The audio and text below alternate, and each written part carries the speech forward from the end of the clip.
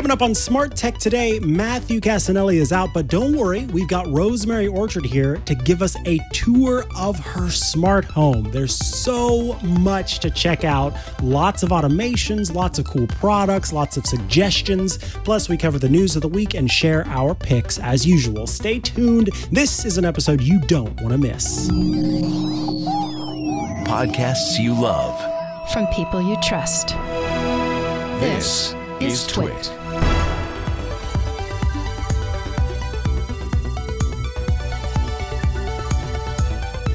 This episode of Smart Tech Today is brought to you by Udacity. Gain in demand tech skills in as little as three months with Udacity's part time online tech courses. Visit udacity.com slash twit and get 75% off any program with code TWIT75. Limited time offer. Welcome to Smart Tech Today, where we explain the exciting, dynamic, and sometimes confusing subject that is the Internet of Things. I am one of your hosts, Mikah Sargent. And this week, I'm not Matthew Cassinelli. I'm Rosemary Orchard. No, this isn't iOS Today. This is Smart Tech Today. It is. And in fact, uh, while I am working from home today uh, and will be doing that for a while for Smart Tech Today and for Tech News Weekly, which some of you may have seen earlier in the day, tomorrow you will see me back in the studio because on Fridays I am the host in the studio. So uh, those will still be coming to you from the old, new, old, new look and feel. Uh, whereas this is uh, the new, old, new, old look and feel uh, that you can expect although it's new again because Rosemary's here instead of Matthew, at which point it will transition to being old, new, old again My brain. next week. Have we confused everybody who's watching the live stream? That's yeah, the goal. Yeah, everybody is officially confused. I love it. Um, we've got a few stories this morning. Well, we would have a few stories if I didn't immediately click closed my spreadsheet that has all of them in it. Um, we've got a few Well, I've got mine right here. Excellent. Before the the big part of the show today is uh, going to be talking to Rosemary about her smart home setup because Rosemary's got all sorts of automations running, all sorts of gadgets, and somehow she's gotten them all to actually do what they're meant to do. And so I am super interested in hearing more about her smart home setup and her automations, what stuff runs automatically, what doesn't. Uh, but we will do a few news pieces before we get into that, and of course, round things out with our picks of the week. Uh, the first piece here is one from TechCrunch, and it's talking about how uh, a provision for drunk driving might actually result in uh, more driver monitoring technology. So I I find this interesting because so the, get this part from TechCrunch. Um, companies developing driver detection technology could get a boost from a provision that's tucked inside the 2,702 page $1 trillion infrastructure bill that would require automakers to build into new cars a technology that can tell if drivers have had a few cold ones. So the provision is called the Reduce Impaired Driving for Everyone Act. That's R I D E A, uh, and because everybody loves to have a um, a nice acronym there, um, so it's RIDE Act, uh, and this is uh, it was introduced in April of 2021, and essentially what it says is, hey vehicles are going to need to be able to uh, determine if the driver is impaired. And so, how do car makers meet that demand? Because there was a, a demand for. Uh, Backup cameras in vehicles uh, that cars have had to meet since I think was it two years ago? Uh, any new car had to meet that demand, and then now this one um, could mean that uh, these different car makers will either be scrambling to find companies that do this and know how to do this, or it could mean that they themselves will have to uh, strike up uh, an, a built-in kind of uh, team to make this happen. And maybe some of them been, have been working on it already. But uh, I found this interesting on its own, uh, especially as we look to the self-driving future and the autonomous driving future, uh, how this could play a role in making sure that uh, we are being more aware of impaired driving on the road. And yeah, I, I'm, I'm curious your thoughts, Rosemary, on this. I know this is a U.S. you know decision, but uh, certainly when comparing it to uh, the the option of of going completely driverless, um, this might be a good first step for reducing drunk driving.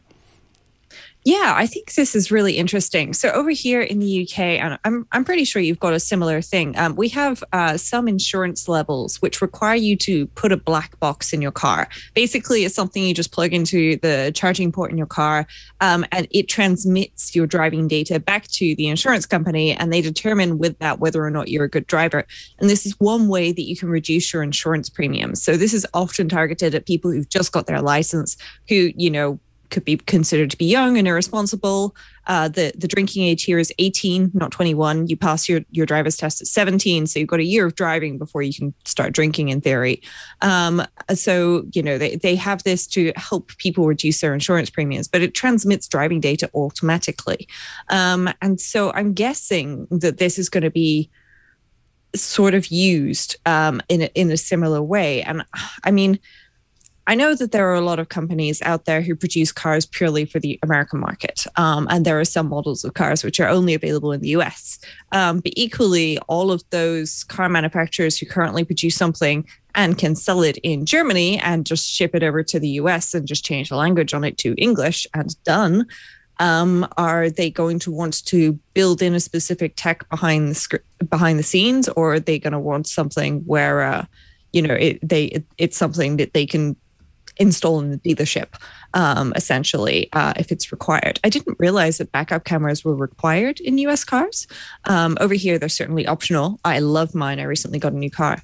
Um, but yeah, it, it's interesting. I know my car has certain safety features built in. So, for example, uh, lane detection and lane changing. If I try and change lane without indicating, it will vibrate my steering wheel pretty hard and pull me back into the lane. Um, this is used to you know avoid drifting um, when people are on long journeys and get bored and they stop paying attention to the road. Um, but uh, yeah, it's it's it's certainly interesting to to see them doing this. Uh, I I wonder if there's a different way to solve the problem, but I'm guessing they've already looked at that and decided maybe that's too costly. Let's make the technology do it. Technology's infallible. uh, and yeah, just to clarify, it was in May 2018 when the federal law uh, came into place that all in the United States that all new passenger cars, trucks, vans, and other vehicles weighing less than 10,000 pounds have to be equipped with rear view monitoring technology. Uh, so that has been the case since 2018. Of course, vehicles that already exist that are older than that don't have to have it, and they don't need to be installed. It's on the part of the. It's on the uh, the it's the responsibility of the manufacturer of vehicles to uh, make that uh, happen with all new vehicles. Um, this next one, speaking of uh, autonomous vehicles, uh, I thought was interesting. It's a company called Argo AI, and uh, Argo AI applied for a permit in California and has been granted that permit to allow the company to give people free rides in its self-driving vehicles on the state's public roads. The California Public Utilities Commission, this is according to TechCrunch, issued the so called drivered AV pilot permit earlier this month. Um, and it says a little more than a week after Argo and Ford announced plans to launch at least 1,000 self driving vehicles on Lyft's ride hailing network in a number of cities over the next five years, uh, this permit came through. So, Argo is um, part of it's backed by Ford and Volkswagen. Uh, so it's not just you know some small company all on its own. It's got some big tech backers. Uh, but I found this really interesting that they are they've been given the permission to be able to uh, let people ride in their driverless vehicles. Yeah, yeah, this is very interesting. On the one hand, I would absolutely love to come and have a ride in one of these things. On the other hand, you could guarantee that, you know, this, because I'm super interested in this kind of thing, it would be the one time that it, you know, has uh-huh. a, a, software breakdown and, and everything just sort of crashes and it pulls over to the side of the road and says, I'm sorry, I cannot continue. Get out. Or whatever it is. I, I, would I have called when, you when an it, Uber. If it crashes, um, that it that is purely a software crash, not a hardware. Oh my god, crash, yeah, because that would be terrifying. Um, Whoa, I, that gives whole new meaning. Whole new meaning to the term crash. Wow. Yeah, yeah. Imagine, you know, in three years you say my Lyft crashed and somebody goes, Oh man, did it BSOD again? And you're like, No, no, no, it actually hit another vehicle. And you have to explain that to people. Um, uh, I mean, on the other hand, if, if if the world goes to the only like the vast majority of car crashes are purely software and it randomly reboots, yeah, I, I could probably That's live with true. that. I prefer Um, that yeah. to the other kind. Yeah, it's it's interesting that they've got permits and so on. It's it seems to me like this is a, limited area, um, and that they have um, you know a limited you know a li- limited number that they're allowed to do, um, which is really cool. Um, and I would love to see more of this. Ideally outside of California, um, you know there are other places in the world where uh, it would be fun to to run this. I know uh, Bath is sitting near me here in the UK, um, they have um, a low emissions zone. This is the sort of thing that would be ideal there for you know the time for the people who aren't able to get the bus or times where buses just simply aren't appropriate. Um, and uh, they're trialing e-scooters and so on. So why not this? It would be great if uh, they can spread out and test this in more places around the world. Agreed. All right, up next, um, we talked a little bit about this last week, and I remember seeing some people kind of complaining that uh, businesses don't have their COVID policies listed online. So you go to a place and you don't know what it's going to be, uh, what you need to follow, what you don't need to follow, et cetera, et cetera. Uh, and so you may be happy to hear that Yelp has added some tools that will let businesses share their COVID policies. And of course, uh, how that relates to vaccines and masks and things like that. So, um, I love this because I was curious about this myself. Um, over the past, well, maybe it was, I can't remember when, but some, I think it was last week, but it might have been the week before. Anyway, my partner and I went to, um, an, a restaurant with outdoor seating uh, after we had spent the uh, day in Santa Cruz. And I was kind of wondering what the policy was going to be, what, you know, what they had in place, what they needed to see from us in order to, uh, partake, et cetera, et cetera. And I think we both were kind of like, it'd be really nice to know what that means. And so it says that um, Yelp is going to be rolling out two profile attribu- attributes, including proof of vaccination required, uh, staff fully vaccinated, which is cool.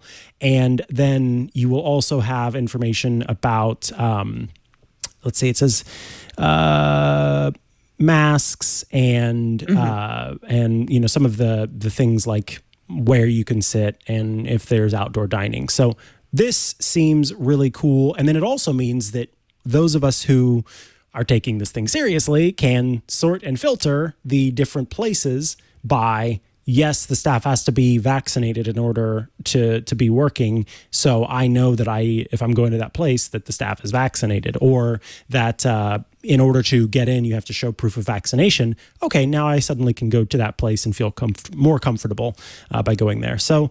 I think this is something that a lot of people have wanted for a while, and I'm glad to see Yelp, which is used by a lot of businesses, be it passively or actively, uh, taking advantage of this because I think that it encourages them to hop on. Yeah, yeah. I really hope that this rolls out in more places. Uh, it says that it's rolling out on Thursday. I'm aware it's still early Thursday in the US, but over here in the UK, it's pretty late on Thursday. Uh, and it's definitely not in some of the local businesses that I know do use Yelp and they update their menus and so on regularly. Um, so I, I'm I'm hoping to see this here. Um, you know, we've recently um, changed uh, our mask policy so masks uh, don't uh, you know that you don't need to wear a mask but at the same time i'm still just wearing mine everywhere. Uh, i've only recently had my second vaccine so it's not fully kicked in yet. So i'm hoping that uh, you know this will help keep some people safe until i can be safer at which point i'll probably still keep wearing it anyway. I, I want to see this in more places. Um, it, it would be great. We we already have um, the ability to scan and sign in and say we were here so that they can uh, do tracking um, you know through through a system. Uh, this is just a step to to help those people who care um you know keep themselves and their friends and family safe. Um i, I see this as a wonderful thing. Um and if you don't want this information that's fine. You can you can scroll past it um, you know Mhm. but i th- i think having this information is is great. Um and i suspect that we won't see companies use this if they want to say staff not vaccinated. We don't care about vaccinations. We're not going to see companies advertising that, right? Because you can filter um, for hey, we want I want somewhere where staff are fully vaccinated. You know, assuming that it's possible for those staff to be fully vaccinated, um, or and or proof of vaccination is required. Those businesses are automatically going to be rewarded for doing the right thing. So uh, yeah, it's going to be good if this rolls out everywhere. Agreed. Uh, up next, the Amazon Halo Band. Uh, up to this point, it's been a pretty kind of locked in product, a product that you could use with Amazon's own fitness service and have that tracking take place.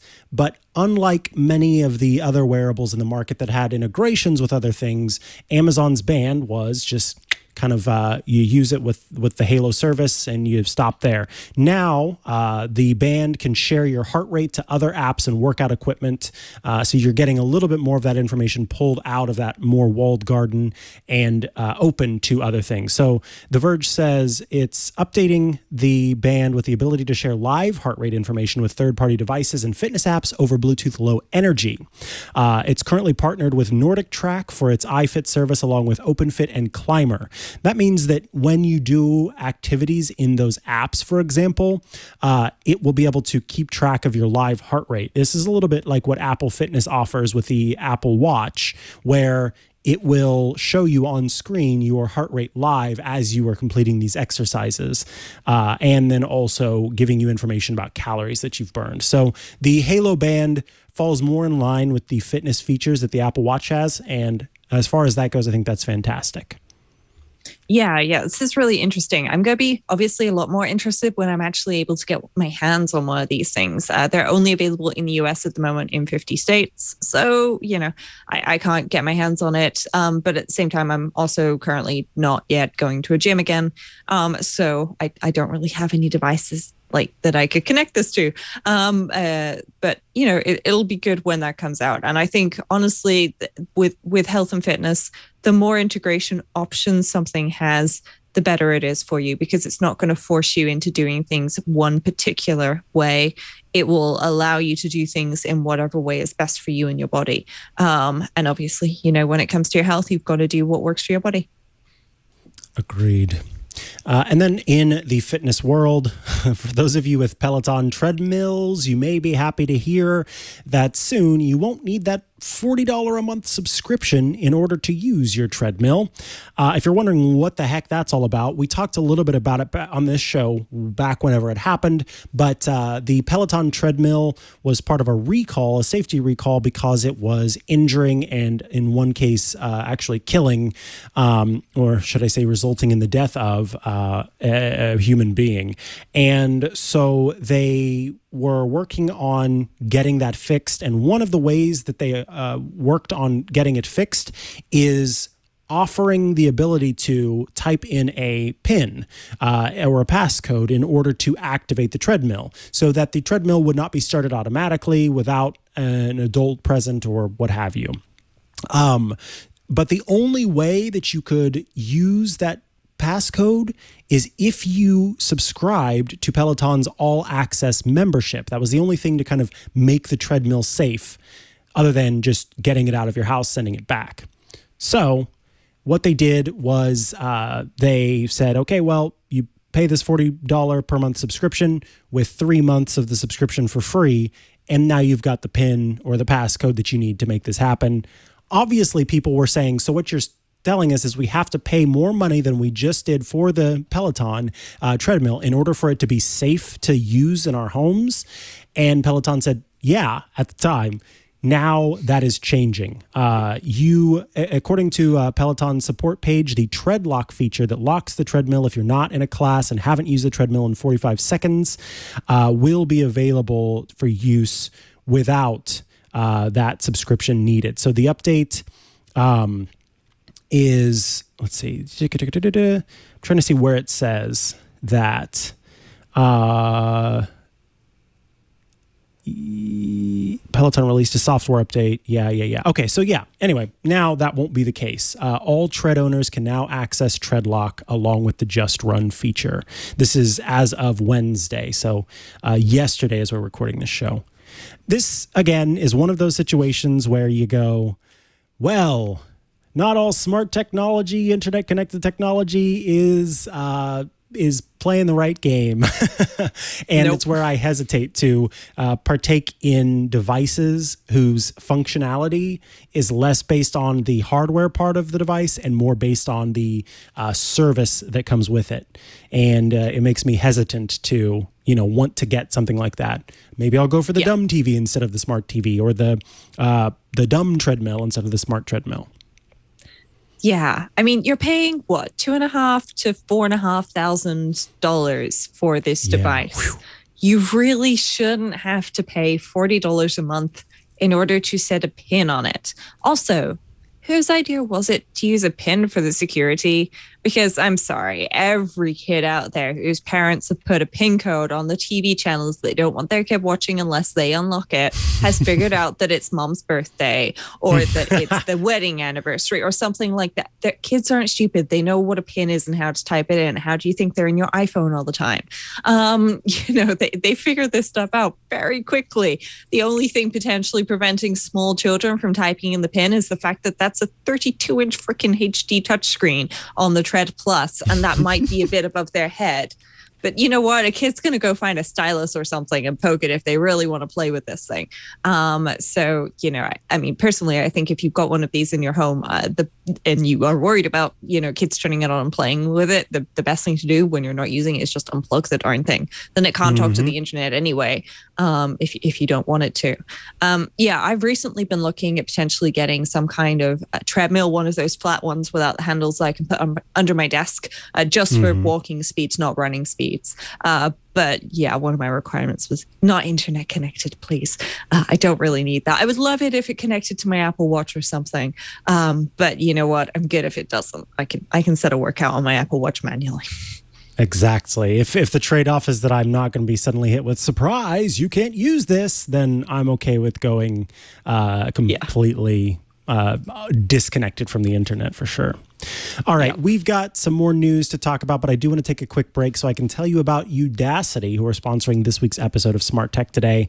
Udacity offers a unique part time online education program that's geared for those who are looking to take their tech knowledge to the next level with specialized and exciting content.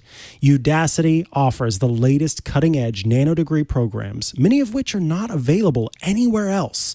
You get AI, deep learning, this next one's going to shock you. Flying car and autonomous flight engineer.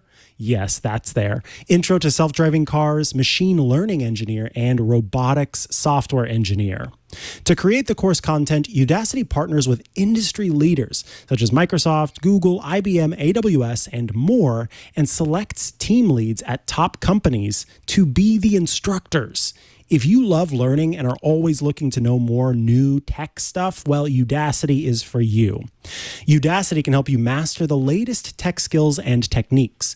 Courses are project based with active learning that covers cutting edge technology and lets you test your knowledge.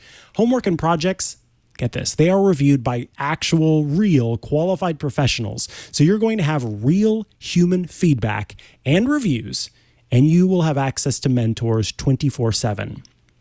Udacity's flexible schedules means you can put in just five to 10 hours a week working at your own pace any time of the day or night and graduate in as little as three months. The World Economic Forum estimates that 75 million jobs will be replaced by automated processes within the next three years. Udacity prepares its students for the jobs of the future. More than 14 million people in over 240 countries now use Udacity. You can check out their detailed course listings at udacity.com. It's fun to go there and just see what is available because there's a lot there. Once you enroll as a student in a specific course offering, you'll be prompted to view the online course as well as complete a series of projects and support courses. They offer flexible payment options and you can learn at your own pace and on your own schedule. Udacity also has free courses if you want to give it a try and see if it's for you. Oh, by the way, does your team need to master cutting edge technologies like data science, AI, and cybersecurity? Well, you might want to know about Udacity for Enterprise so you can upskill your entire workforce with real world project based learning. Be sure to check out the enterprise section of Udacity's website today. Get the in demand tech skills you need to advance your career. Visit udacity.com slash twit and get 75% off any program with code TWIT75. A limited time offer. That's udacity.com slash twit and enter twit75. Thanks so much to Udacity for sponsoring this week's episode of Smart Tech Today. All right. Uh, in a very googly thing, as Google is wont to do, it has leaked uh, some new hardware. And no, I'm not talking about the new Pixels. I'm talking about the new Nest devices. Uh, so these are unannounced Nest security cameras, and uh, they will be coming out um, at some point. But uh, it's these are the, the different things. that the Verge has the piece. As far as we can tell, the new devices include a combined outdoor indoor battery powered Nest Cam, a Nest Cam mm-hmm. that includes a floodlight, an indoor wired Nest Cam, and a battery powered Nest doorbell. Uh, these were not available, of course, for purchase, but it is uh, nice to know that uh, Google is working on uh, some new stuff, especially these battery powered ones. So it, it seems to me that uh, the pattern shows you uh, the pattern of, of kind of uh, smart home manufacturers typically is they create a wireless doorbell camera that is. Um, needs the connection of the kind of uh, old school, the power of the old school doorbell that you may have had. And then shortly after that, the company comes out with one that is uh, battery powered and then you end up just you know charging it once a week or once every couple of weeks or or however long it needs mm-hmm. to be so i'm not surprised to see these battery powered options uh, they tend to be far more convenient and they are better for renters uh, in particular yeah. who aren't able necessarily to install more permanent hardwired options yeah, yeah, they're also great for people um, over here uh, who live in uh, an apartment. Who, even though I own my apartment, uh, because you know we have restrictions on what we can do to the building, I can't just drill through the wall and make a hole and run some electricity out there and put a wired doorbell out there. That's not okay. Um, and I, I actually looked at a variety of different cameras and I ended up with the now discontinued Ring peephole camera because that required me to do nothing more than unscrew this, the peephole that was already there and put the Ring doorbell there instead. And that was it. And now I trash that once every couple of months. Um, my parents wanted a new doorbell um, and uh, I got them a Eufy actually instead of the Ring because I knew they were going to complain about paying a subscription every month um, to, to see things. And the Eufy comes with the, the base station or the plug in chime, depending on which model you get.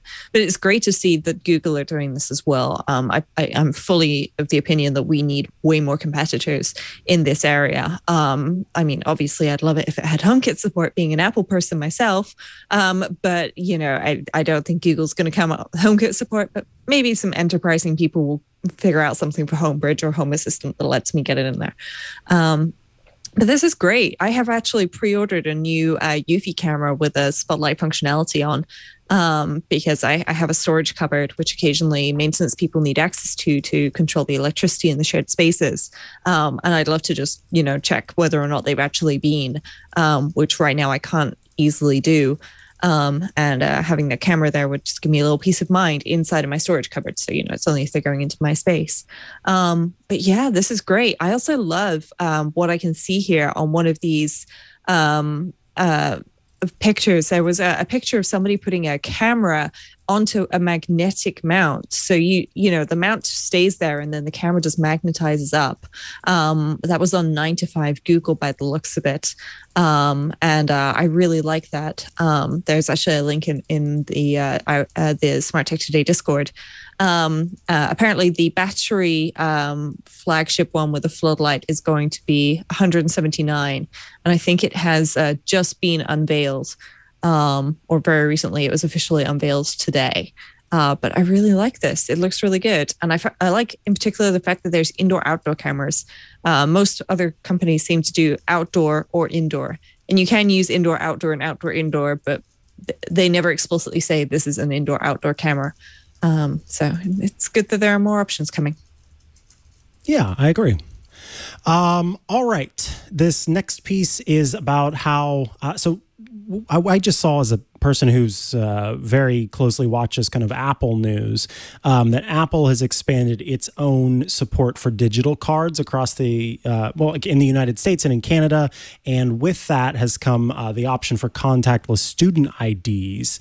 Um, but what this Verge article is uh, kind of covering is that this is bigger than just Apple. It's uh, kind of campuses across the US and Canada are uh, adopting virtual student IDs. I think this is a really good idea because it's cleaner it reduces cost.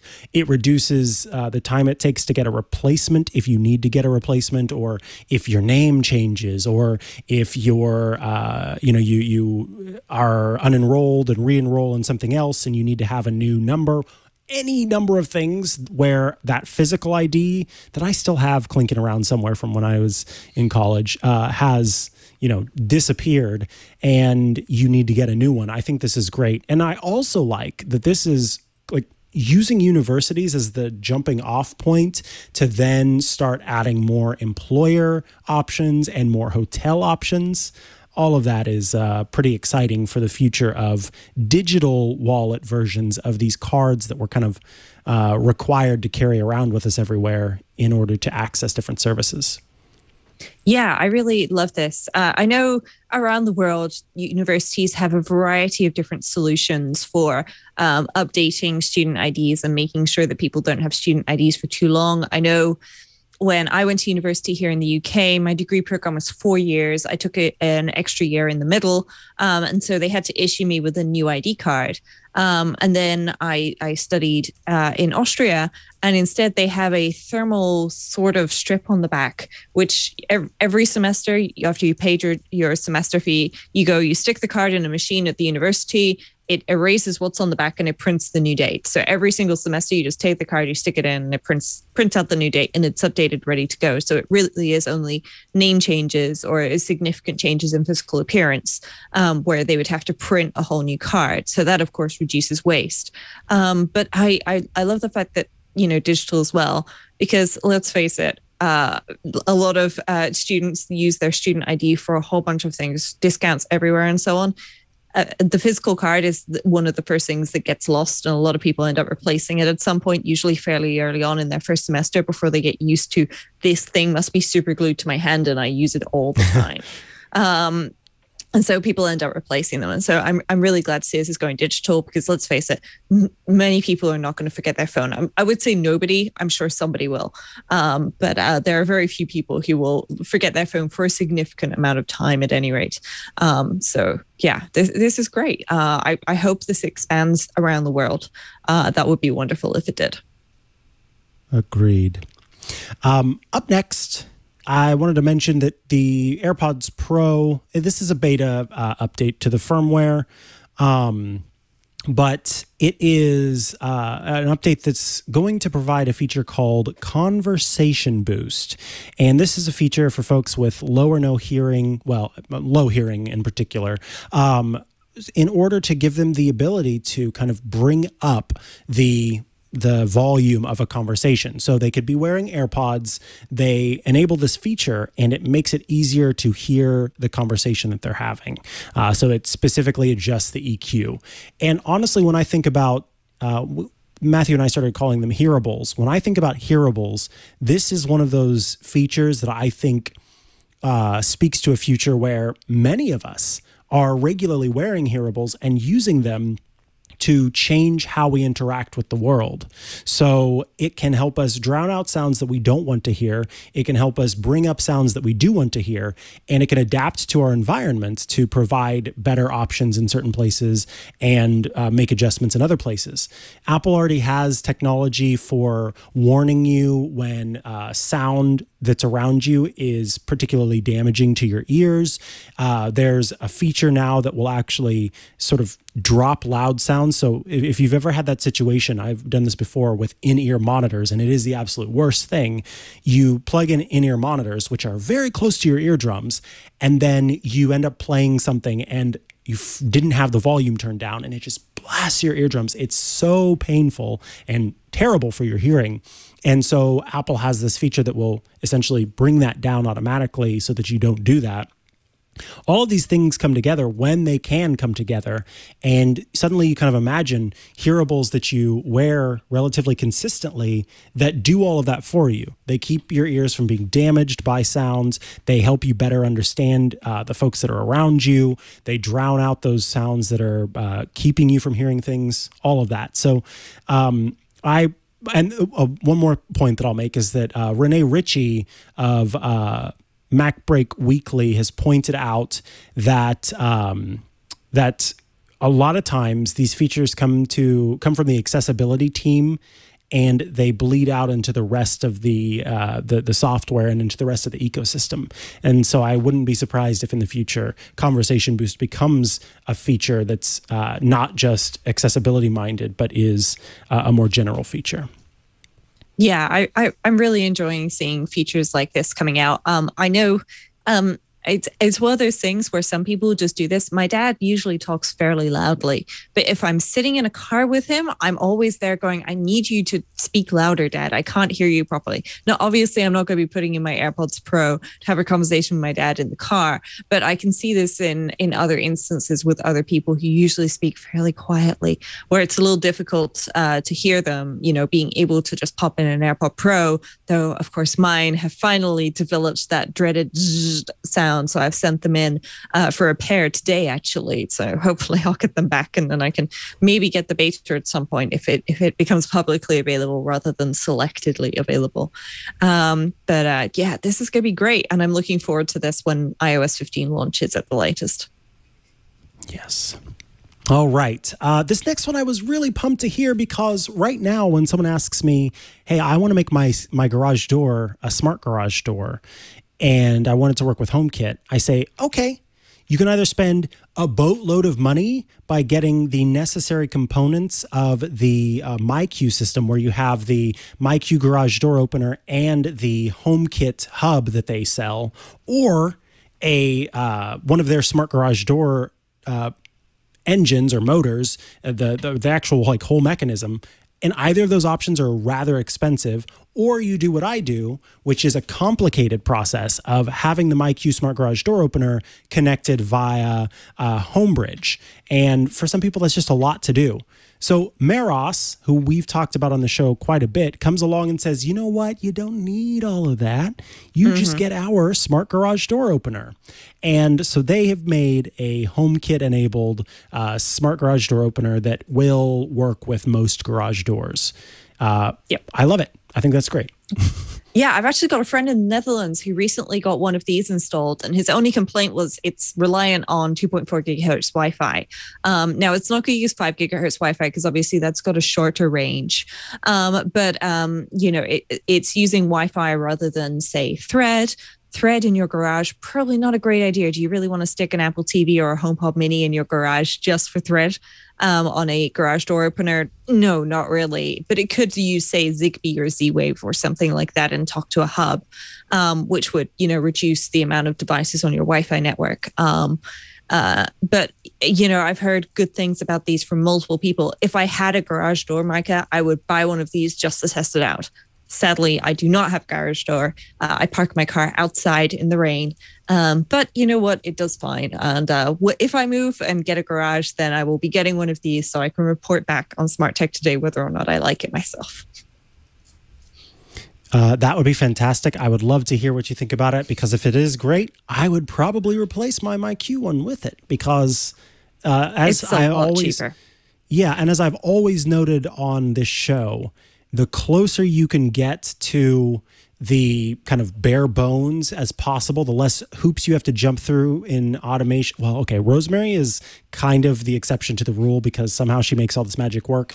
But the less hoops you have to jump through to make the automation work, and the less servers you have to talk to, and and uh, all these different integrations you have to jump through, the better the experience is typically going to be then I would like to, you know, go that route versus because sometimes the way that the MyQ API is set up, uh, if the Homebridge plugin ends up pinging the server, the API too many times, it mm-hmm. will lock it'll lock you out of your account. And so then it can't update, it doesn't know, and it runs into all these issues. And then sometimes that causes issues then with my, uh, oh, I just thought of a problem.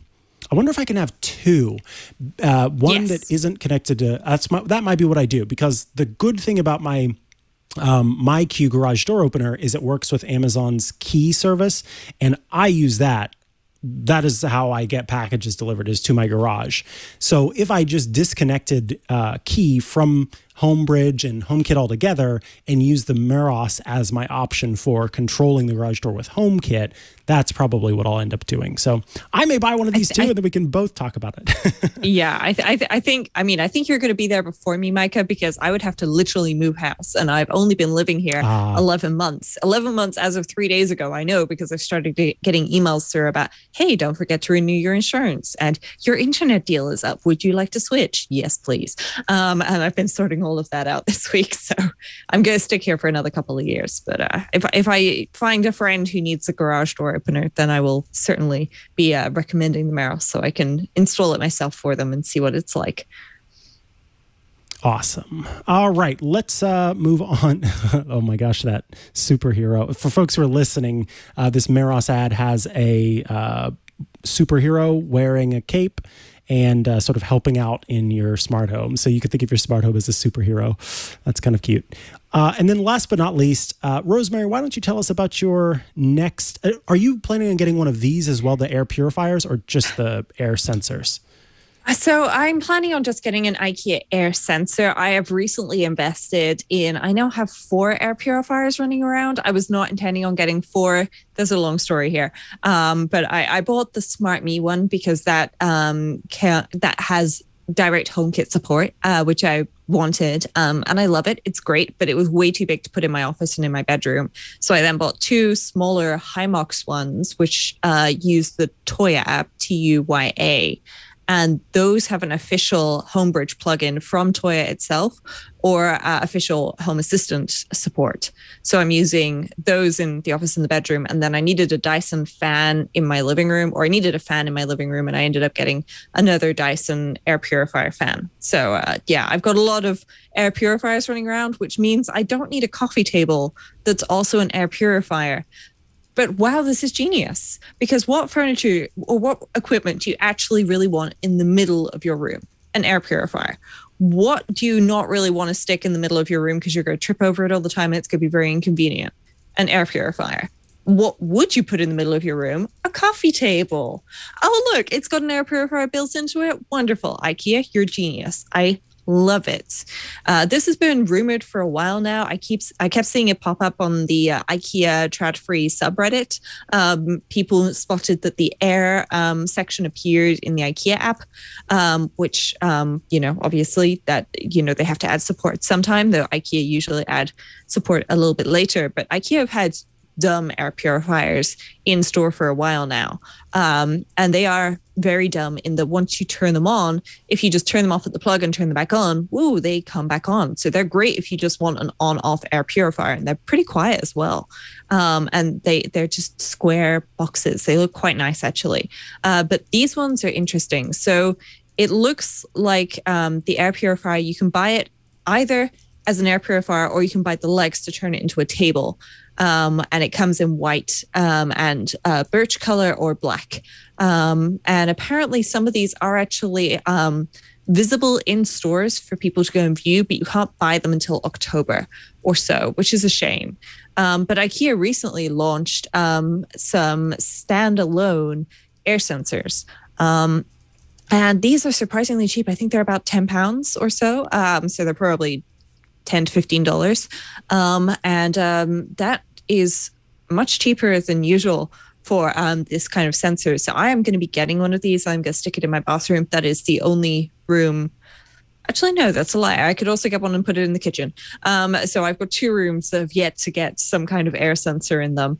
Uh, I'm using Netatmos sensors in other rooms. They're quite popular here in Europe, but uh, obviously not so much in the US. But these are definitely interesting. I love the fact that IKEA stuff uses uh, Zigbee protocol rather than crowding onto your Wi-Fi um, and occupying more space. Zigbee, even though Matter exists and, or rather, um, well, it's uh, it's uh, Matter it was Chip, um, and they have the Thread protocol. Thread is not going to be everything, I don't think. So Zigbee is still an excellent standard to go by, and uh, IKEA stuff being affordable and easy that's my parents' gateway drug into home automation. They don't realize it yet, but they they are on the slippery slope. I got them some smart plugs for Christmas, and they liked them. And then they got a smart doorbell, and now they're getting smart cameras, and it, it's all going, Mikah. I, have got a plan. Uh, I don't think they've realized it yet, but th- they will succumb to the smart home.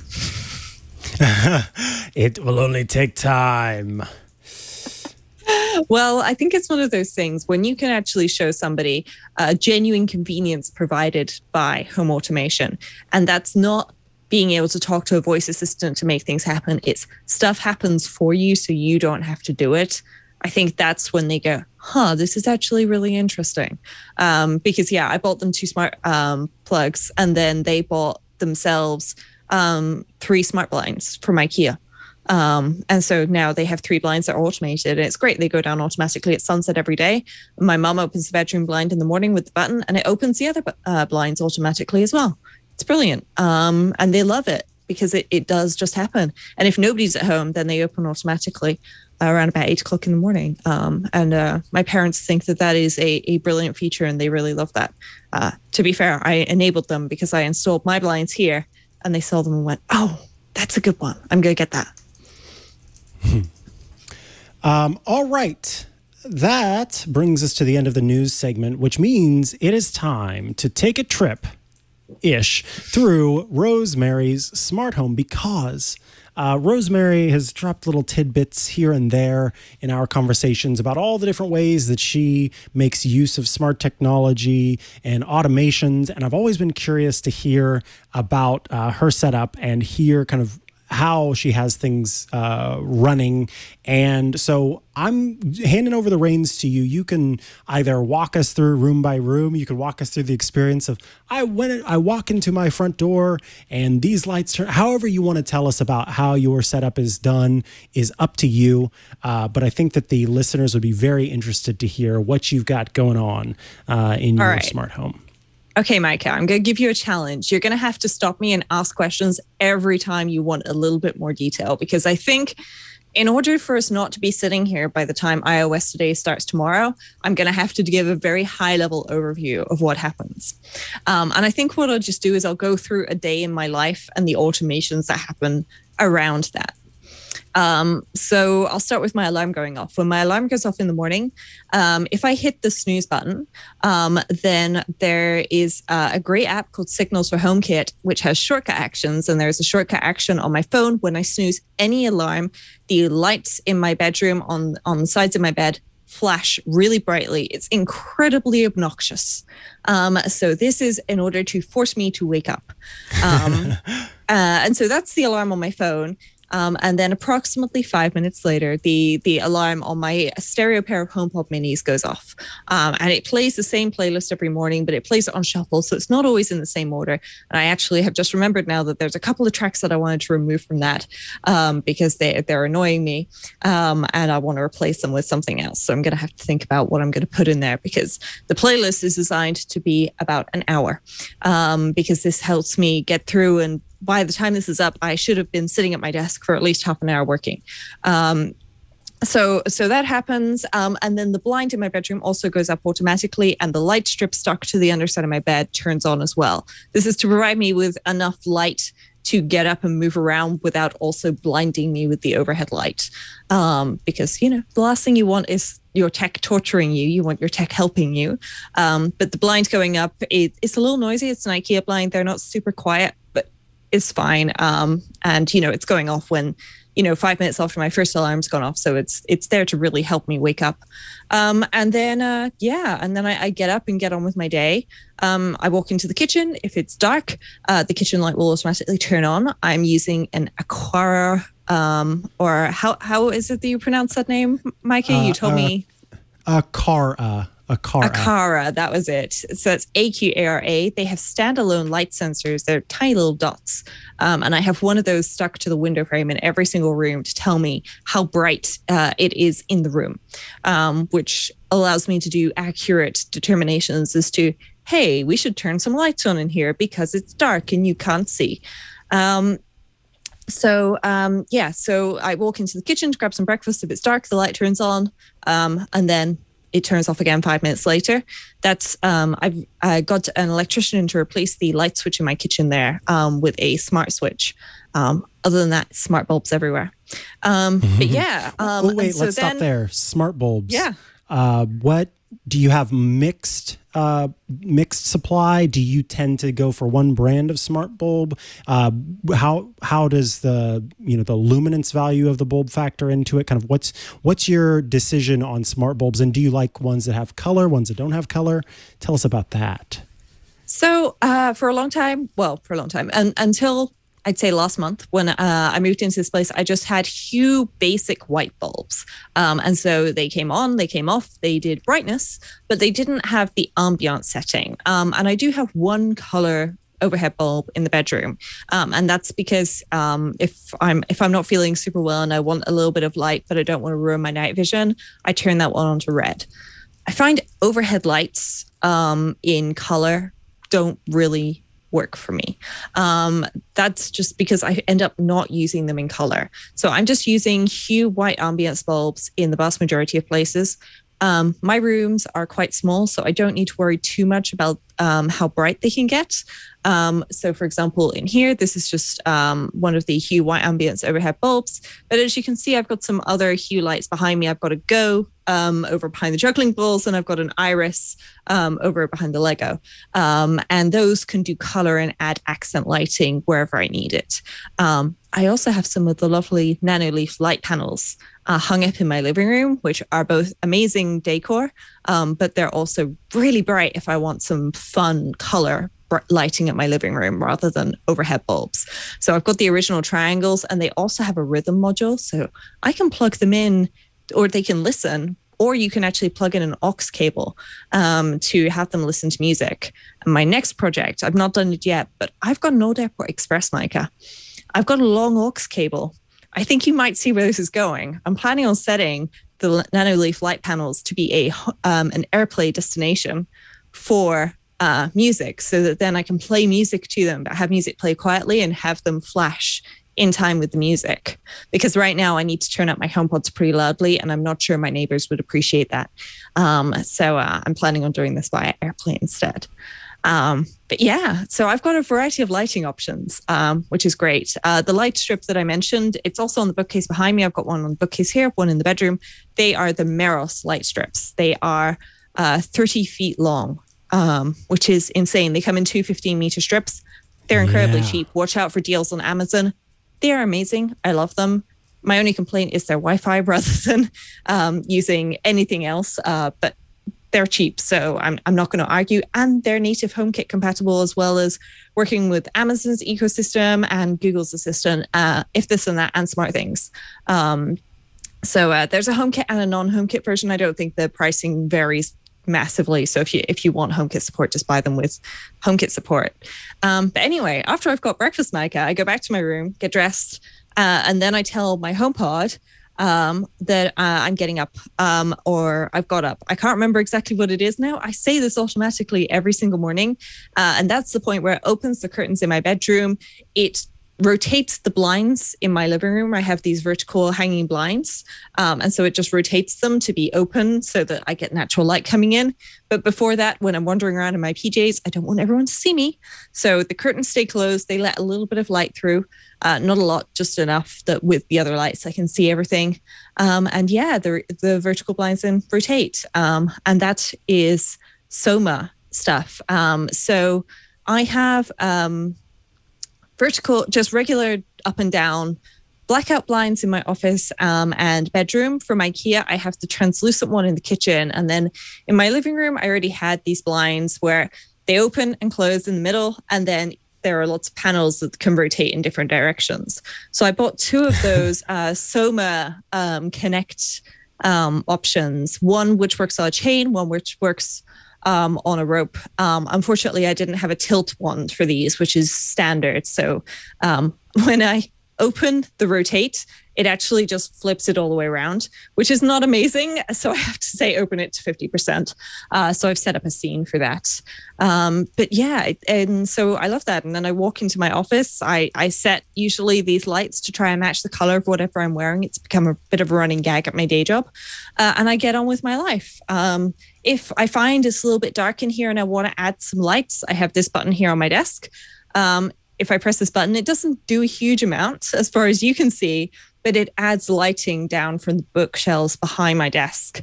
Um, and this is, you know, one of the reasons why I like having everything um, in smart home stuff is because then at the end of the day, when I go to bed, there's a button by my bed. I reach, reach out, press it once, and it goes around the house and it looks and it goes, okay, all the blinds are down, all the curtains are closed.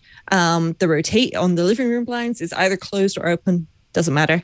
Um, and all the lights are off. The dehumidifier in the hallway is turned off. Um, and things like that, um, because um, I have an indoor drying rack. Um, and I think people might like this. I've stuck a door sensor to it. So a door sensor can tell you if it's something is closed or open. So when uh-huh. I put it uh-huh. up, it's open. Okay. So I do a load of laundry it comes out of the washing machine. I could put it in the dryer, but a lot of my things aren't dryer safe. So instead, I put up this clothes rack, which automatically sets that sensor to open and it turns on the dehumidifier in my hallway. Oh, uh, that's so smart. That is so yeah. smart because this way I don't need the dehumidifier running all the time. When I hit my podcasting button in here, it turns off my dehumidifier because I don't want that running while I'm talking to you. That's a noise that you might hear, especially in the summer where I do have to sit with this door open because otherwise I am going to melt in here. Um, but, um, you know, it, it, automatically turns that on. And then when I close the dryer later, because all the, the um, clothes are dry and I've taken them off and folded them, put them away, it turns off my dehumidifier. Um, and so I've got a couple of little things like that hiding around where I'm using things not quite in the way they were intended, but I think mm-hmm. that's pretty useful. Um, one big thing that I've done recently is smart door locks. I held off on this for a really long time. Um, and then I spotted that Yale have a multi point lock. It's the Yale Conexis. Um, and so multi-point locks, for people who aren't familiar, they're very popular over here in the UK in PVC doors. Um, and basically, it's a vertical door handle with a, um, well, a vertical door lock with a handle coming out. And in order to engage the locking mechanism, you have to lift the handle. This moves several levers up in the door, and then you can turn the key. You can't turn the key unless you've lifted the handle. Um, and Yale actually have a Conexis which does this, which is great and they have a Z Wave module that you can stick in there. And the reason why I held off on this for ages is because HomeKit locks with multi-point don't exist. As far as I can tell, they just aren't mm-hmm. out there. So frustrating when you've got one of those doors, and that's my primary door that I use most of the time. Um, so if I was going to smartify a door, that's the one I wanted to do. And I found the Yale Conexis and that they have a Z Wave module. And so I did a little bit of digging around and I already knew about Home Assistant, and I knew that you could get like a dongle that you plug into, say, a Raspberry Pi running Home Assistant, and it could provide a Zigbee network. And I found that you could do the same thing with a Z Wave dongle and a Z Wave network. And so, Mikah, I went down the rabbit hole of Home Assistant, and oh wow, um, there there's so much that you can do there. I am not using Home Assistant anywhere near to its capacity yet. This is something I really want to dive into on a lot more. Um, mm-hmm. But because of the Z-Wave module that I put in the door and I set it up, uh, I put it in the handle, I set everything up, I connected it to Home Assistant. Home Assistant could then lock and unlock my door. Um, and just for anybody who's there going, oh my God, I would never want a smart lock. Um, you know, it's, it, you know, it's, somebody's just going to hack it. If somebody wants in your house, they're going to break a window. Like this isn't a glass door they're not going to waste time trying to pick a door lock or hack a door hack the door lock. They're just going to smash the window and come right in. Um, or they're going to try the door and go it's locked next one. Um, you know it, it's it's not going to make a huge difference here. Um, so yeah so either way i've got the z-wave module. It can be unlocked and locked via home assistant. That's only available on my local network. But then home assistant can add things to homekit for you um, so for people who've used Homebridge or heard of Homebridge before, Home Assistant can do a similar thing where it can take accessories which are set up in Home Assistant and make them available to you through HomeKit. So you scan a barcode, you add Home Assistant as a bridge, and then ta-da, my locks have shown up. Because of course I got one lock and it's like, oh wow, this is amazing but you know, just in case I lose lose my keys, it'd be great if I could get in like via a number pad somewhere because there's four other uh, oh sorry there's three other apartments in this building. So it's probably going to be somebody at home to let me in to the building or you know certain times of the day i can just buzz myself in through the trade button. Um, though I have another way for that as well, which I'll get to in a moment. But uh, hmm. then I got uh, the Yale keyless lock, um, which just has a number pad on it. So worst case scenario, I can get in through there, type a number in on the number pad, and voila, done. I'm in. Um, so I can get in and out pretty easily. Um, but of course, you know, when you get home, you don't want to have to, you know, open the blinds, turn on the lights, and all that stuff by yourself. Um, so whenever I arrive home or somebody arrives home, it automatically, uh, if it's after dark, it turns on the lights um, in my uh, living room, which is a room that I would usually go into. Also, the hallway, um, so that I can, you know, see in the other rooms. Um, and it um, rotates my blinds to 50%, which makes them, um, you know, straight so that you could see straight through. And then it opens them. It also opens my living room curtains for me. Um, one thing that I've recently added, though, is just reaching out for it, a curtain over my door, door in the hallway. Um, and I've added a SwitchBot to this as well. So for people going, wait, how can you automate curtains? Uh, SwitchBot, it's a little robot that sits on a rail um, or in the rail if you've got one of those i rails. Um, and then it's a bot and it goes backwards and it goes forward. So you press the button and then it opens or closes your curtains. Um, and that was the wrong way around. So if I press the other one, then voila, the, I've specifically ah, chosen yeah. one for the curtain over there. Um, and it's just going and closing it. They are pretty great. They are a way of making your curtains smart without you actually needing to do any hardware work. Um, mm-hmm. Because a lot of smart curtain options out there involve buying specific rails and things like that. And then you go charge things and so on. And I mean, that is fine if you own your place. But at the same time, you know, do you really want to be spending $300 on a curtain rail? Right. Yeah, that stuff gets so pricey. Uh, it's it kind of wild. yeah, it, it really does. It's so expensive. Um, whereas SwitchBots are pretty cheap. The remote control is entirely optional. Uh, they recharge via USB C, or you can get a solar panel that plugs into the USB C on them and it'll charge them as well. Um, it's great. And so, you know, when they're closed, um, uh, and sometimes I, I, close them a little early um, because I use those light sensors I was talking about. Um, if it appears to be dark um, and I walk into a room, then it will close the curtains, but it will not close the blinds. Um, and the reason for that is, is while it might be too dark for me to see, that is not too dark for the solar panels to charge. Um, so then the solar panels can be charging a little bit. Um, and theoretically, they should get some light where they are during the day as well. Um, I say theoretically because, you know, with all these things, there there's a little bit of an art to finding exactly the right positioning so that it will get light during the day, but it's also not annoying you by sitting on the curtain somewhere totally visible. Um, but yeah, there's there's a whole bunch of things going on, um, and I honestly don't really even think about it anymore because I've got this stuff set up and my home just does the things that I want. Like this radiator here behind me is actually just plugged into the wall, except it's not plugged into the wall. It's plugged into a smart plug, an IKEA smart plug. And I've got a NetAtmos sensor up there, which tells me the temperature in the room.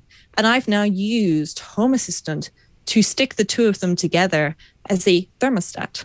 Um, and then I can say, set the office temperature to 20 degrees Celsius. Um, and it will do that. And then it turns on and off this radiator over here in, to achieve that temperature. And that's it. And that's all it does. And then when i leave it automatically sets it to 14 i come home i walk in here and it sets it back to 20 Um, there, there's a whole bunch of things you can do where you don't, you know, once everything is set up, it does just work. The pro- the teething problems are really getting things set up and figuring out why does this annoy me because that is of course always the problem. Like ah this is so frustrating that i've got to pull out my phone to open the app to turn on my lights. Well you shouldn't be doing that. You should be having sensors that say hey you know rose is sitting in this room um, and she whenever she turns on um, plex on her television into movie mode she doesn't want the overhead light on um, but she's watching a film. So, okay, we're going to close the rotate on the blinds, check the light level. Okay, now we're going to close the curtains because it's not dark enough, or it is dark enough, so we won't close the curtains. Um, you know what you've just done? You have inspired uh, an automation that I need to set up because this happens every night now that I think about it. And I don't know why I didn't do it before, which is that in my living room, when it gets dark, the we turn on the lights, the, the Philips Hue lights in the living room. And while we're watching TV, I always end up turning off the table lamp because the glare uh, from the table lamp covers part of the screen, and then I can't see that part of the screen very well. And Yeah. I do that by hand every time we're watching television. I don't have to do that by hand. Mikah, I know, Mikah, right? Mikah. I do a show called Smart Tech today, and I didn't even think about fixing that with an automation. That's exactly what I'm going to do. Yeah. So what I have done there is um, because I don't really care about glare on the TV um, when I'm just you know scrolling through the Plex menu, for example. Um, I have added Plex as an occupancy sensor to my HomeKit home through the Plex Homebridge plugin. Um, now, I will grant you, this really only works if you primarily watch things through Plex. If you're using stuff like Netflix, it's it's not great. Um, that you know you're gonna have to figure something else out for that. Maybe just do it whenever the TV turns on. Um, but I, I decided that because I watch most things through Plex, I would use the Plex occupancy sensor. Um, and so whenever that turns on, um, and I've set this up specifically so when it's only movies, because if I just watch an episode of something during the day, um, I don't really care. You know, like I'm watching Will and Grace over lunch or something. It's fine if there's some glare on the TV. You know, it's not great quality anyway. It's an old show that I ripped from DVD, but it's still fun. Um, uh, so you know, a little bit of glare here and there is absolutely fine. Um, but yeah, this stuff is pretty cool when you get it set up. And it is just looking for those little annoyances in your life. Um, like one of the things that I realized, um, because I installed the smart blinds very early on, but I realized at the weekends I get up and I wander around the house, but I don't come into this room, my office, until about midday on a Saturday or later because I'm I'm not working and I'm doing a whole bunch of other things like catching up on laundry, lounging on my sofa or in a hammock outside. Um, and so I realized actually, you know what? You know, these curtains not being open, I then walk in, it's like, oh man, it's dark. And then the lights turn on because it's dark, right? No, instead, what it should do is go, hey, it's dark, but your curtains are closed. Open the curtains, or the curtains should just be open in the first place. Um, Right. And that that is, you know, that is the ideal that um, I'm achieving. And so it's like, actually, you know what? When I open the bedroom curtains, open these curtains as well. And when I go to bed, close the curtain across the front door. Um, when I go out, close the curtain across the front door. But when I get post through the front door in the morning, just to open that curtain for me, please, because I'm going to have to go there and check that nothing's got stuck in the letterbox anyway. Um, and so it it it does that. Um, what I really need to work on is parcel detection. Um, so that if there's a parcel on my front doormat um, and I'm at home, open the curtain. Um, theoretically, I should see it. I have a, an Echo Show down here. Um, so whenever there's motion outside, uh, I set up a little uh, automation there um, using um, it's the ALEXA ac- action where you can type what you would say to it. And so I put show the front door. Um, so then whenever it detects motion, um, it, it does the command that checks uh, that sh- should show me the front door. And then it, of course, immediately says, okay, I wish it didn't do that, but you can't change that. And then it shows me my front door, um, which is great because I've got a ring camera and you can do that with the Echo Show. Um, so that's primarily what it's there for. It's there going, here are your Amazon parcels arriving and here's your front door. Um, uh, but yeah, I would love it if um, I could detect if there was a parcel there. Um, and then when I get home, open the curtain as an indication of, hey, you should open this door and check for parcels there because uh, I had that earlier today. I had to go water my parents' plants for them. I came back, there was a parcel. I forgot about it for quite a while, um, and then I and then my neighbor knocked on my door and said, "Hey, uh, here are your parcels. They they they appear to have been on your doormat all day."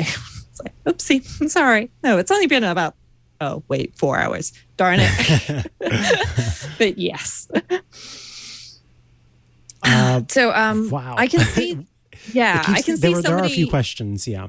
Yeah, yeah. I can see Prof Panda, a bear uh, from New York City, uh, in uh, the Discord, um, is asking how I achieve presence detection in a room. Um, I'm using motion sensors for this. Motion sensors are not perfect, but they're pretty good. Um, I am not exclusively using motion sensors, however. I'm also using some Aqara vibration sensors. So I have one stuck here to my office chair. I would remove it for you, but it's quite difficult for me to get to while I'm sitting. I actually can't reach it. Um, but they're just little square uh, sensors that you can stick, um, and that vibrating uh, is motion. Um, and so um, that helps me detect whether or not I'm in my office. Because, of course, me just sitting here, uh, I've got a vibration sensor up there, I've got another one over there. Theoretically, those two should see me wherever I am in the room. But if I'm sitting here, sometimes, especially when I'm working uh, coding, I can be very still for a while and it's just my hands that are moving over the keyboard. That's not going to register as motion. Um, but I do, you know, jiggle a little bit as I sit. Um, and this the the vibration sensor then works. Um, I I'm currently using a very old plugin for Homebridge um, for occupancy, uh, where you can just say, "Hey, add these like three switches," um, and that these all connect to this occupancy sensor, and then you can trigger um, each of the switches with a motion detector. It's very hacky. I'm working actually on writing a new Homebridge plugin uh, to replace this, which would be much better and allow you to do things like name the switches. So you don't have to remember that switch number one is the Hue motion sensor, switch number two is the IKEA motion sensor, and switch number three is the, Aqara vibration sensor stuck to your chair. I would actually like to name those um, so that I can, you know, see, um, you know, what things uh, are what, because certain sensors also stay on for a while after they've detected motion, even if they don't see motion. But it's primarily motion sensors there that I'm using with that. I'm also using, as I mentioned before, the Plex plugin um, for occupancy in the living room, because obviously when you're lounging there on the sofa watching something, you know, your hands going in now the popcorn bowl, but that's not really enough movement to trigger a motion sensor. Right, exactly. That's a. I mean, that's kind of uh, one of my issues. Why I want to have the ultra wideband chips and different devices start to be able to be used for different things is because you get those funny vignettes in certain like workplace comedies where the person is doing this because the uh, office lights have all turned off because they didn't move one does not like to have to remind the sensors that they are in a room. And so I'd love No. something, especially with my Apple Watch in particular, which stays on my wrist, having the ability I to have use that as an occupancy one sensor. amazing piece of technology that can do this, and that is Okay. the Hiome, H I O M E. They're based in Chicago, um, and they have little sensors that you can stick above a door, and it can tell which way people go. It will detect large dogs as humans and very small children as animals. But other than that, it's pretty much perfect. Um, and it can see you walk into a room and it turns on an occupancy sensor for that room and walk out, which means that you need one to cover every single doorway in your home. Um, but say a doorway between your your office and your hall, you won't need two sensors there. That's one sensor to cover that doorway. The problem with the Hiome, first of all, the price. Secondly, if you want to add batteries because you don't happen to have an outlet conveniently near every single door, that's more price. Thirdly, they're always out of stock. Fourthly, they don't ship outside the United States. Um, uh, so, th- I mean, this is this is something There are I lots would of- love. if the folks at Hiome want to get in touch with me and like I don't know sponsor Smart Tech Today or something and send them to me and you and, and Matthew, that would be amazing because I will totally review their stuff. But it's impossible to get hold of. But it looks great because this can detect room occupancy and it'll go, hey, they're in this room, um, which means that I won't have to do things like use a dummy switch inside of Homebridge or from Homebridge. So a dummy switch is just a fake switch which turns on and turns off, but it doesn't actually turn anything physically on or off. And I use dummy switches for lots of things like, hey, someone is at home or no one is at home um, because these get turned on by the last person leaving home or someone arriving home right? That that's how i do that. So then i can say run this automation if someone is at home. Um, and i have one for Oh, guests as well so that yeah i also have guests as well because my living room is where um, i have a sofa bed for for guests when they come and stay or if they come and stay at some point when that's safe to do again. Um, and um, uh, that you know obviously if there's a guest staying there i don't want to press the button by the side of my bed and plunge them into darkness um, as well and for them to be going wait what what happened? What do i do? I can't see anything now. I was in the middle of putting my pajamas on. What happened?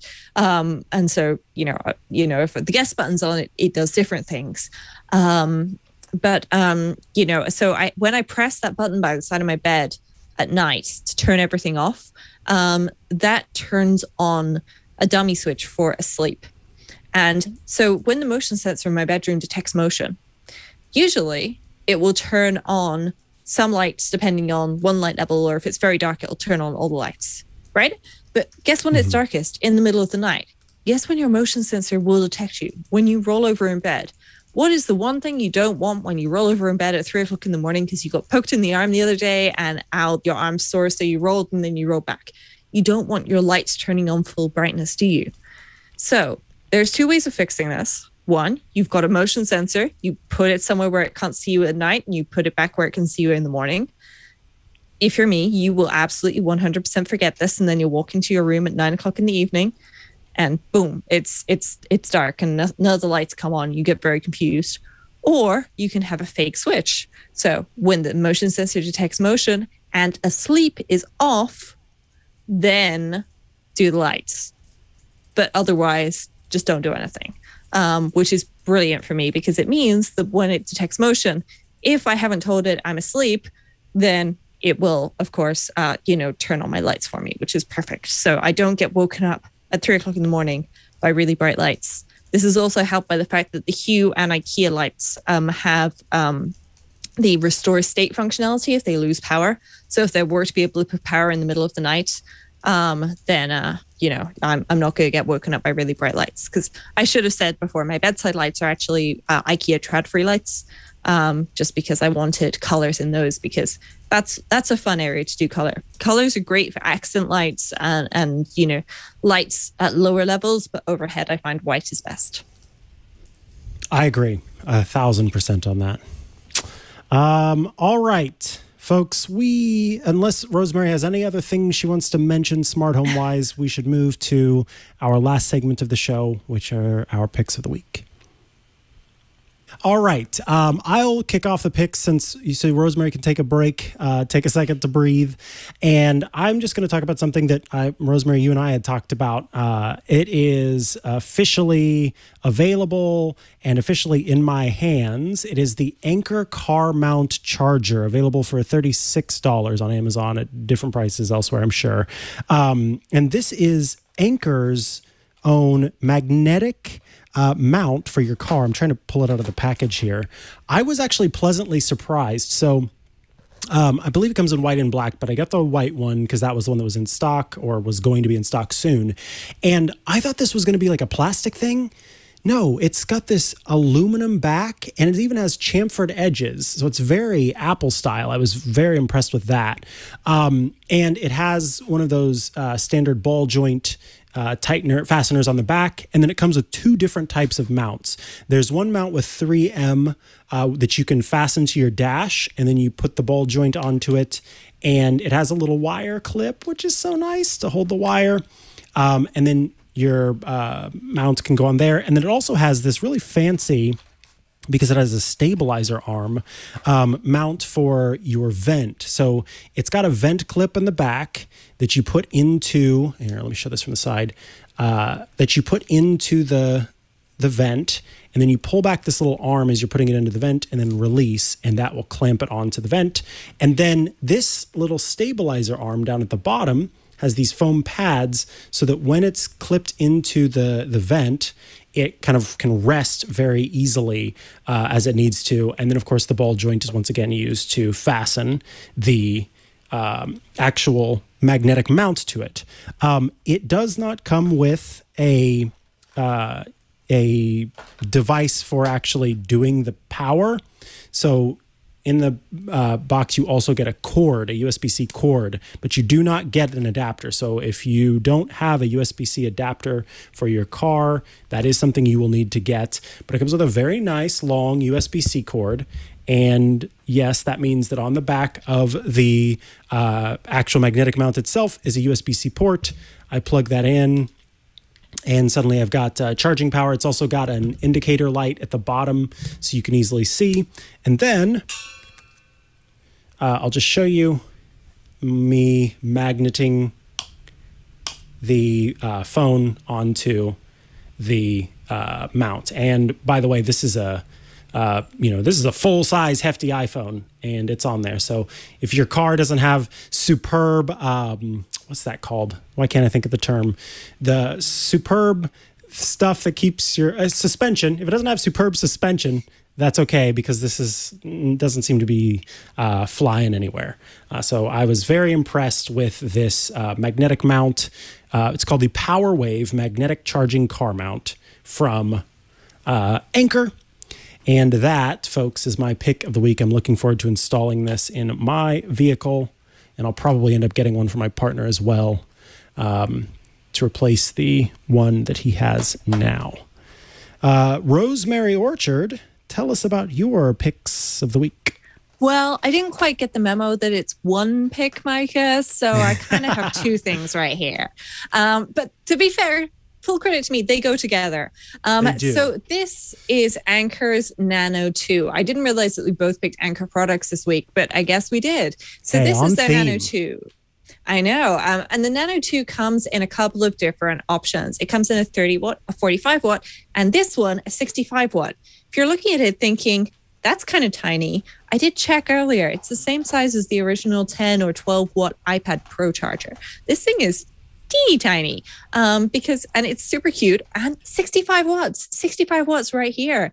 That will charge my MacBook Pro, but not without an appropriate cable. Now, these are currently sold out on the Anker website, but they were in stock a couple of days ago on Amazon. So keep an eye out there. Um, I believe this one is $40.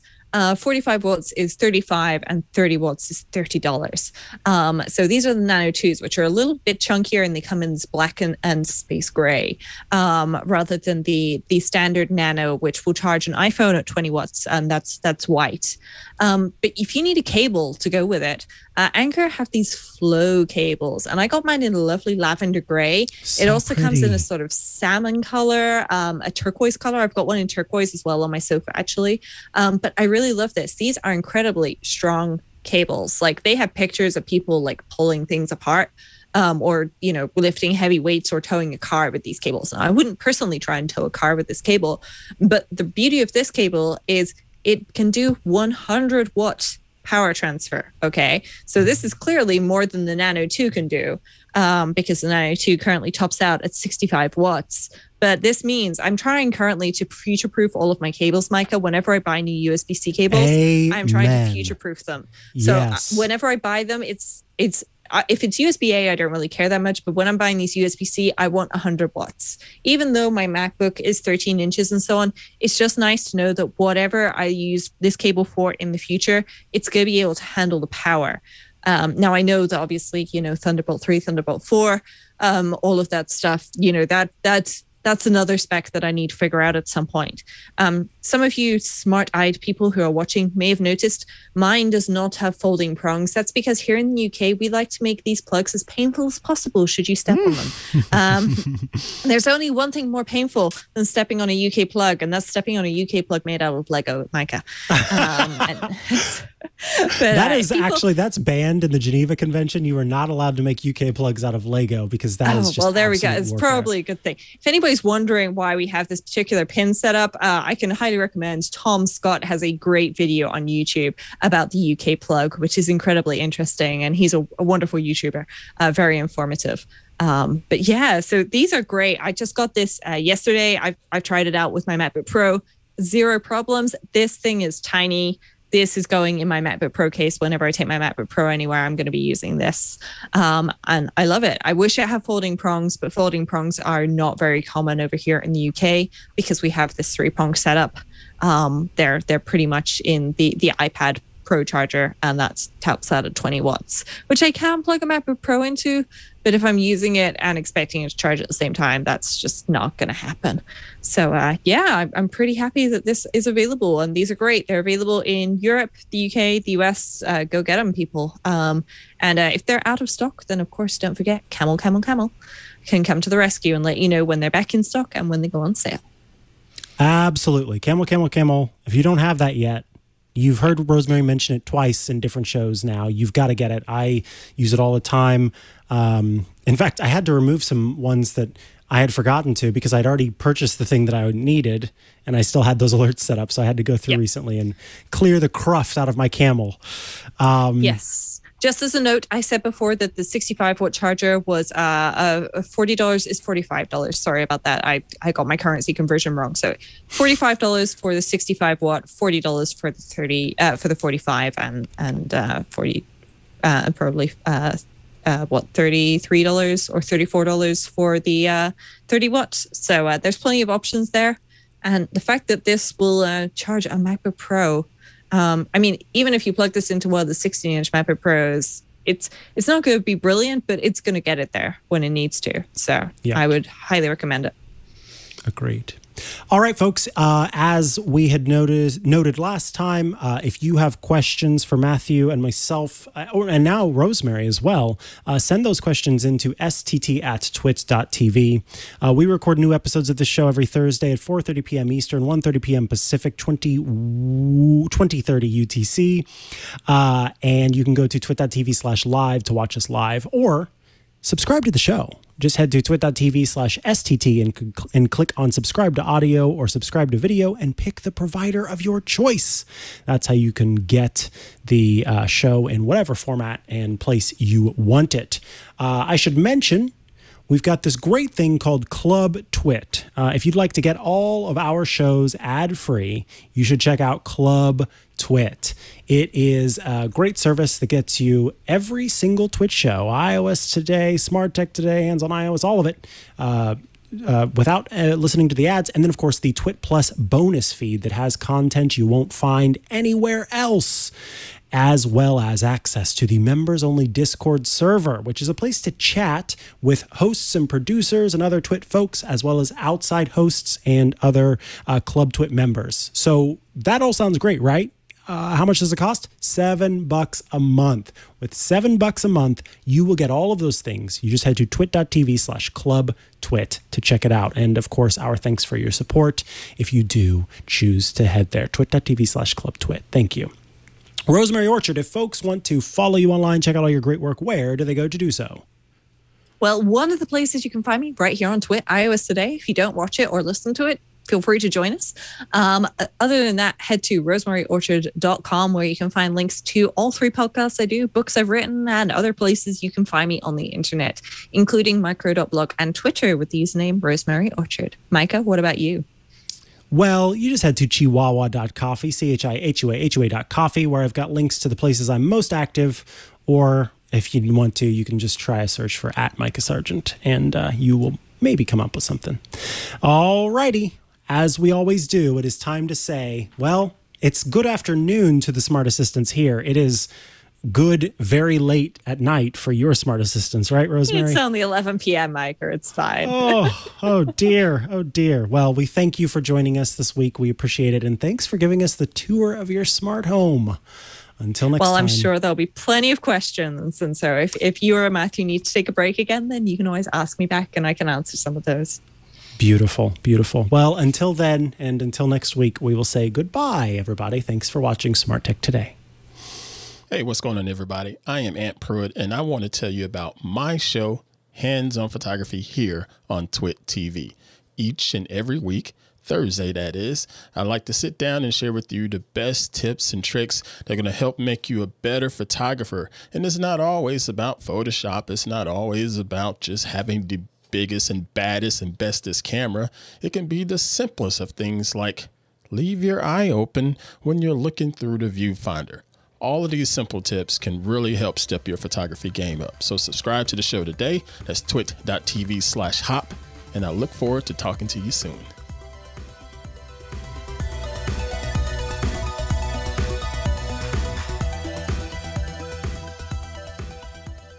you get those funny vignettes in certain like workplace comedies where the person is doing this because the uh, office lights have all turned off because they didn't move enough in the Yeah. last. Oh dear God, folks, never do what I just did when you have a fountain pen in your hands because now there are blots of ink on my wall and presumably all over my desk as well because I had to do my shakety shake like a fool. I hope that's not Bay State Blue ink there, Mikah. That is a pain to get out. Uh, no, this is uh, a uh, is it Lamy? Uh, L A M Y. Lamy. green- Okay, their stuff's Lamy usually washable because it's uh it, it's for schools and school kids. At least that was their original target market. So I think you should be good there. yeah, I'm. Fountain- Yeah, fountain yeah. pen. Oh my God! Yeah, exactly, Kevin. Normally, I love your puns, but not right now. I'm just kidding. It's great. Um, the one Yes. thing that's good is that uh, this whole townhome is painted with semi-gloss paint, so it's not likely to stay on there. Anyway, so that was fun. we will cap the ink pen, the fountain pen, before we ever Yes, do that please. again.